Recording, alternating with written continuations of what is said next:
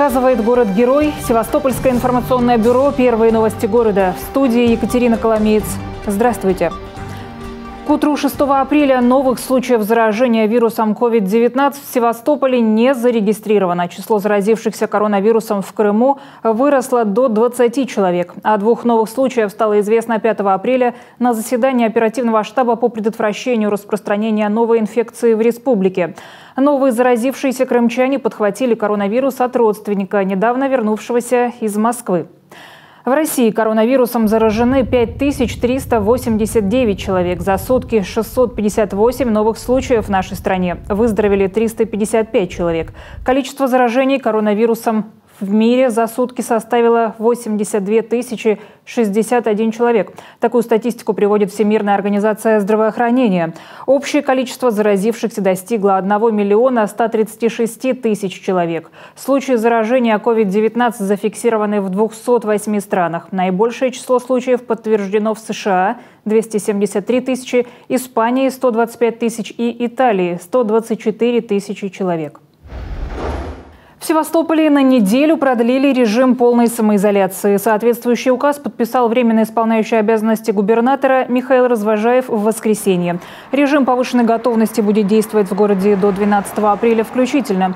В документе отмечается, что с 6 апреля школьники будут учиться дистанционно. В этот период учеников льготных категорий обеспечат сухими пайками. Владельцы работающих магазинов обязаны нанести специальную разметку в помещениях, чтобы покупатели соблюдали безопасную дистанцию станцию. Коммунальные службы города усилят дезинфекцию общественных пространств. Если у горожан нет возможности оплатить коммунальные услуги и услуги связи, до окончания режима повышенной готовности принудительно долги взыскивать не будут. Уточняется, что социальные выплаты будут сохранены, однако прием граждан в отделениях соцзащиты временно приостановлен.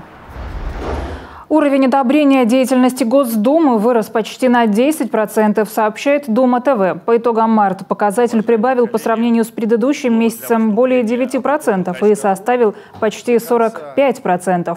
Таковы результаты опроса, проведенного Всероссийским центром изучения общественного мнения. Респонденты отвечали на закрытый вопрос. Вы в целом одобряете или не одобряете деятельность Государственной Думы? Эксперты уже высказались об этих данных. Политолог Антон Хащенко на своей странице в Фейсбуке заявил, что показатель 44,8% – это фактически полное восстановление майского показателя 2018 года до пенсионной реформы и плюс 8,4% к январю этого года. Политолог Дмитрий Фетисов, комментировав в Фейсбуке существенный рост рейтинга, назвал несколько причин такой динамики. На такой рост могли сыграть не только оперативное законодательное сопровождение работы исполнительных органов власти, но и тот факт, что подавляющая часть часть депутатов уехали в регионы, где не устроили себе выходные или занимались самопиаром в СМИ, а оказывают реальную помощь с учетом своих возможностей, полагает Дмитрий Фетисов. Эксперт добавил, что управленческий опыт, работы по организации волонтерской деятельности, поддержку работы мониторинговых центров – это те направления, где опыт и возможности депутатов сейчас востребованы и нужны. Также политолог обратил внимание на то, что подрос и остается на очень высоком уровне рейтинг одобрения деятельности деятельности президента России. Согласно последнему опросу в ЦИОМ, показатель достиг отметки в 71,1%. Относительно благополучная эпидемиологическая обстановка в России, жесткие меры в первую нерабочую неделю, демонстрация готовности бороться с эпидемиологической угрозой, скорее всего, причины именно в этом, пояснил Фетисов. Популярный у туристов и местных жителей Малахов-Курган закрыт для посетителей с середины марта. Несмотря на отсутствие внимания со стороны гостей, мемориальный комплекс продолжает жить. Словно по расписанию на аллеях раздается музыка, а корни деревьев напитываются водой благодаря дистанционной системе полива. Большинство сотрудников Севастопольского военно-исторического музея-заповедника перешли на режим всеобщей самоизоляции, но некоторые продолжают работать, чтобы поддерживать порядок. Малахов курган словно замер. На лавочках не отдыхают уставшие родители. Дети не прыгают вокруг батарейных пушек, а любопытные туристы не толпятся у входа в оборонительную башню Корниловского бастиона. Мемориальный комплекс закрыт с середины марта. Можно сказать, что он отдыхает от назойливого шума экскурсий и готовится к открытию нового сезона. Большинство сотрудников Севастопольского военно-исторического музея-заповедника, в состав которого входит Малахов курган, придерживаются режима обязательной самоизоляции, но часть продолжает ухаживать за территорией комплекса.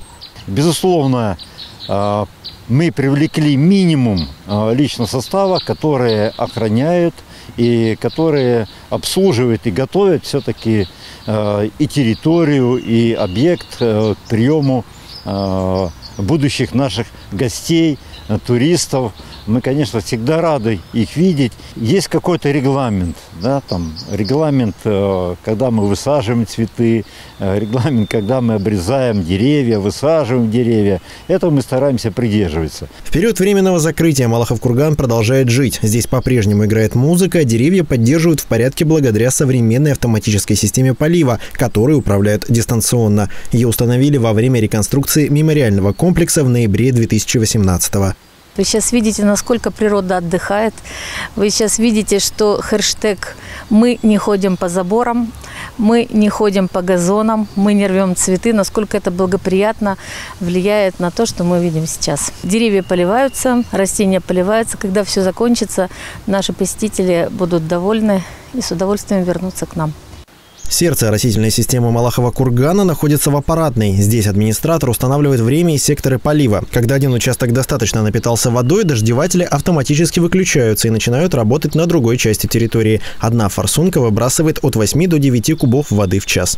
Шесть насосов, э, три резервных и три основных полива, которые создают давление 4,7 бара для того, чтобы, э, скажем, в автоматическом режиме работала система автономно полностью ввод программы производится с этого пульта. Пульт э, такой небольшой, ну, небольшой конструкции, но очень удобный. Он самый совершенный уже из всех Hunter-систем.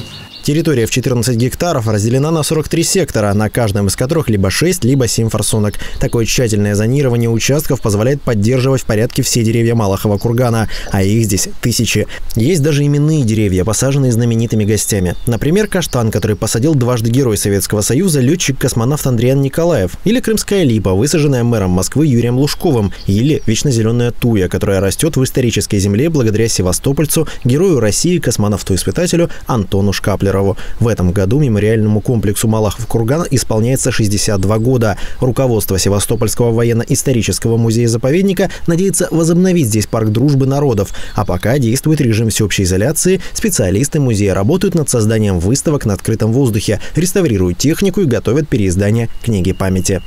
Кирилл Попов, Маргарита Чернуха, Юрий Риутин, Денис Александрович, Севинформбюро. Председатель Комитета Государственной Думы по экологии и охране окружающей среды Владимир Бурматов, отвечая на вопросы граждан, подчеркнул, что от домашних питомцев нельзя заразиться коронавирусом. Он не имеет такой тропности для того, чтобы э, от кошки или от собаки, неважно, домашнее это, безнадзорное животное, чтобы он был передан человеку. Ни одного такого случая в мире до сегодняшнего дня не зафиксировано и не подтверждено. Образовательный процесс в крымских школах восстанавливается с понедельника в дистанционном режиме. О формате взаимодействия учителей с детьми на заседании оперативного штаба по вопросу предотвращения распространения новой коронавирусной инфекции рассказала министр образования, науки и молодежи республики Валентина Лаврик. С электронным обучением и применением дистанционных технологий. Учителя находятся э, в удаленном доступе и э, дают четкий алгоритм действий для своих учеников. Э, на сайтах образовательных организаций будут э, размещены расписания, согласно которому будет, будет, будут проводиться такие занятия. Очень важно, чтобы учителя дали четкую четкую инструкцию, как будут получать домашнее задание. Министр уточнила, что 107 крымских школ, которые находились на дистанционном обучении с 23 марта, уже отработали механизм работы. Все учебные материалы и для учеников, и для учителей чиновники пообещали разместить на ресурсе Крымская республиканская образовательная сеть. Также учителям необходимо вести учет этих занятий, поскольку это выполнение учебной программы. А, многие школы подключены к электронной платформе «Электронный дневник», «Электронный журнал». И естественно, что темы уроков и домашние задания будут записаны на этих страницах, а также будет вести учет успеваемости обучающихся. Нужно сказать, что для детей выполнение домашних заданий тоже в обязательном порядке. В то же время в Крыму остаются дети, которые не имеют возможности заниматься онлайн из-за отсутствия подключения к интернету. Глава Крыма Сергей Аксенов поручил обеспечить школьников республики интернетом для дистанционного обучения, а также проработать возможность приобрести электронные планшеты для детей из малообеспеченных семей. Давайте индивидуально отработайте, Валентина да. Васильевна, скажете, то есть там, там, где действительно, там, где действительно у родителей вот нет физической возможности приобрести, подумаем, скажите мне, сколько у нас вот таких сейчас семей, там, где вообще катастрофа просто. Я подумаю, что можно там сделать. Хорошо? Давайте, да, договорились. Там, где смогут нам помочь э, вот ответственные э, предприниматели, спасибо огромное, слова благодарности. Как сообщил министр внутренней политики, информации и связи Республики Михаил Афанасьев, у властей есть информация о количестве домохозяйств, которые необходимо подключить к интернету. Идет обсуждение вопроса с провайдерами. Прямо в ходе заседания одна из крымских компаний заявила о готовности помочь детям из города Саки. Мы прорабатывали эту ситуацию с Валентиной Васильевной совместно. У нас есть понимание, сколько детей у нас не обеспечено интернетом.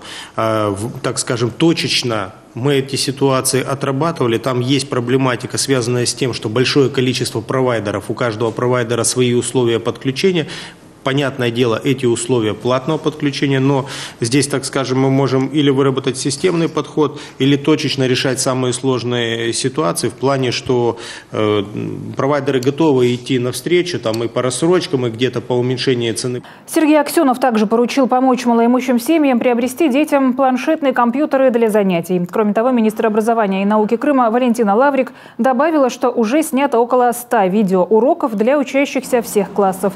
Их показывают в в эфире телеканала «Первый Крымский» с 10 утра до 14 часов. Съемки новых уроков продолжатся на следующей неделе. Крымские детские сады продолжат работать в режиме дежурных групп, которые формируются по заявкам работающих родителей. Кроме того, в республиканских школах власти пообещали организовать по заявлениям работающих в эти дни родителей группы детей до 12 человек среди учеников первых-четвертых классов. В условиях режима самоизоляции на сегодняшний день далеко не все гости могут приехать в студию телеканала НТС, чтобы дать ответы на интересующие вопросы. Однако наши журналисты имеют возможность приезжать для общения к ним. В ближайшее время мы предлагаем вашему вниманию специальные выездные выпуски программы «Актуальное интервью», в которых вас ожидают встречи с известными жителями Севастополя. Вашему вниманию размышления о сложившейся в мире ситуации, о том, как она влияет на каждого из нас и насколько сильно постигшая планету планету испытания способно изменить каждого живущего на ней и все человечество в целом.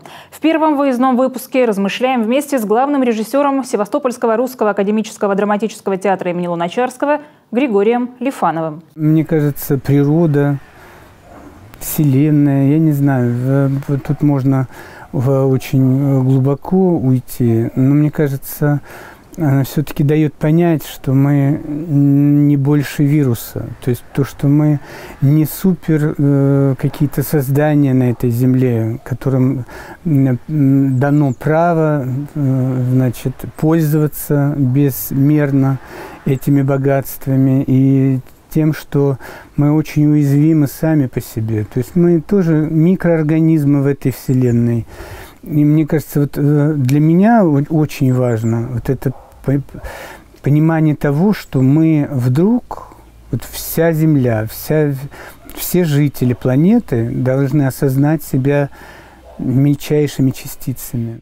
По мнению Григория Алифанова, русские люди, на долю которых много раз выпадали самые сложные испытания, имеют особенное к ним отношение. Накопленный веками запас силы и терпения должен помочь и на этот раз. Даже вот просто новому поколению, которое уже привыкло жить в комфорте, да, как там у Достоевского, да, э, в «Преступлении и наказании» э, говорится.